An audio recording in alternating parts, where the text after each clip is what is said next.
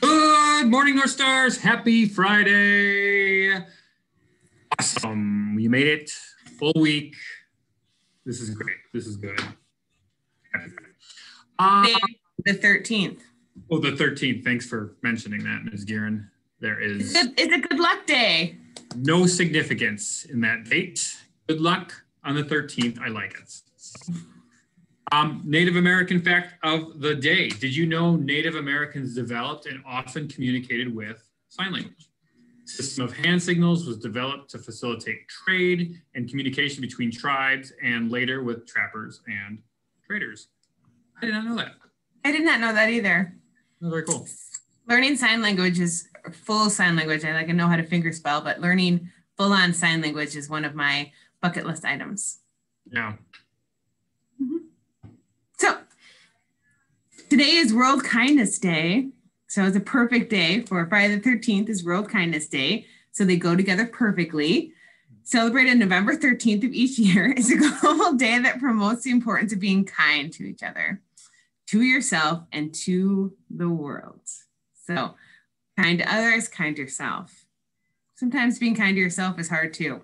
The purpose is to help everyone understand that compassion for others is what binds us together.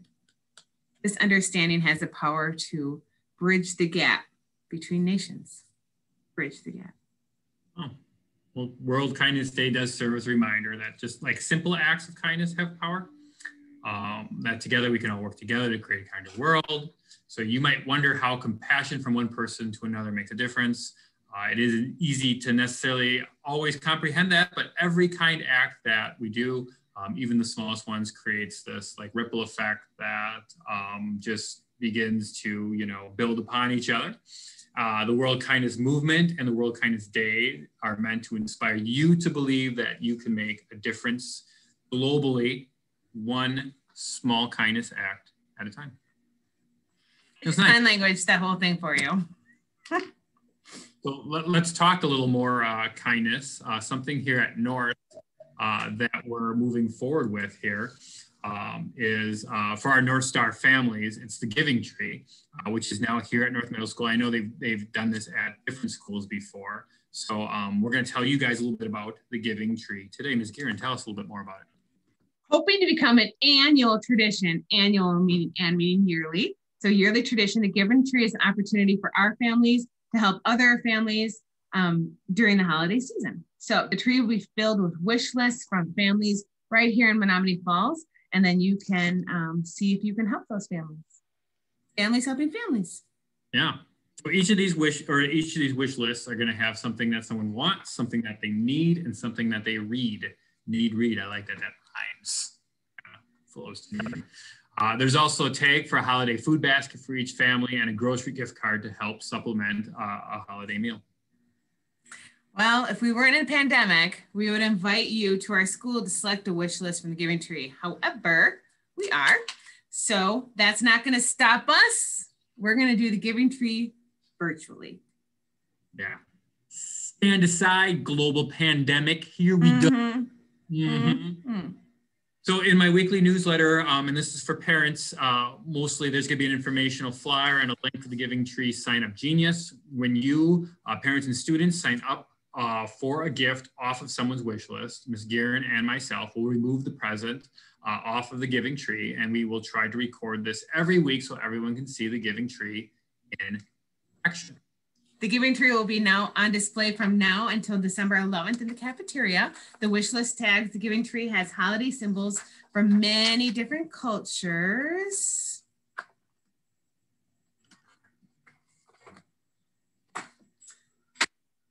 Was that? Around the world. We love to learn about the traditions our students participate in every year. So all gifts uh, are due back here uh, at North Tuesday, December 15th. So please don't forget to put a gift tag on your present with the wish list number and the gift number. And all this information is going to be in that flyer.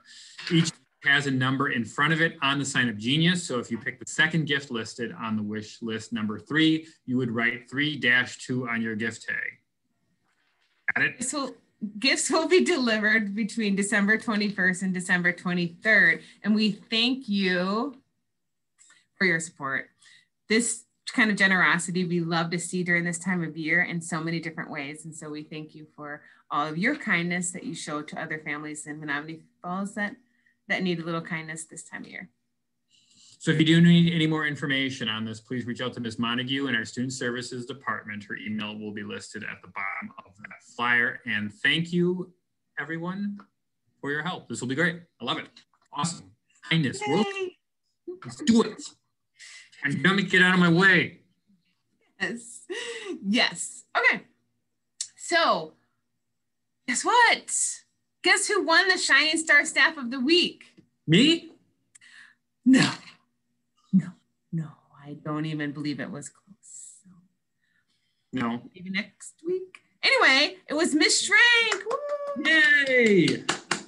Hi, Miss Shrank.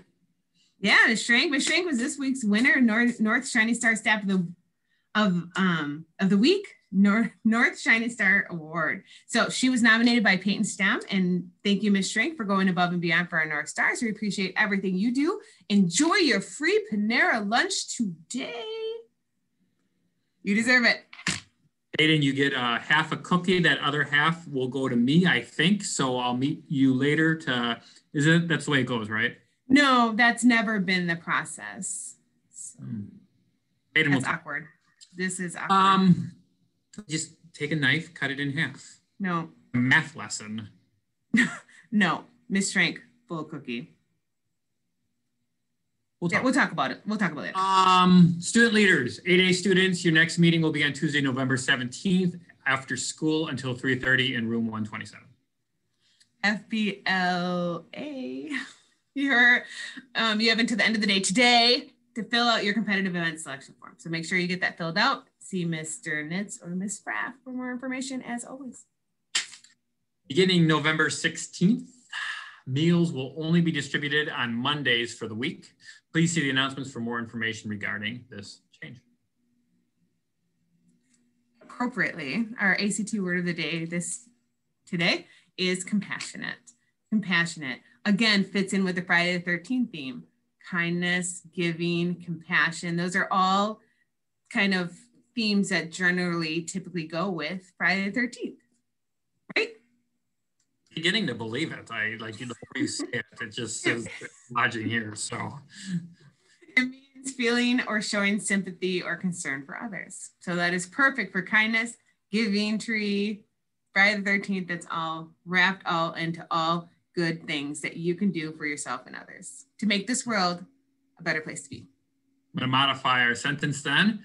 Um, on Friday the 13th, compassionate people reach out to help those in need. Perfect. That's perfect. Awesome. He comes way up, Mr. Gebauer. All right, friends, please prepare for the Pledge of Allegiance.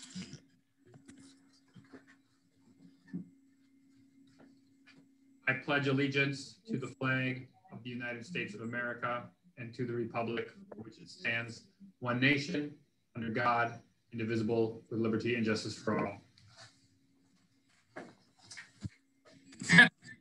Be Friday the 13th. Do something compassionate. Let us know what it is. Have a, have a good weekend, North Stars. Bye.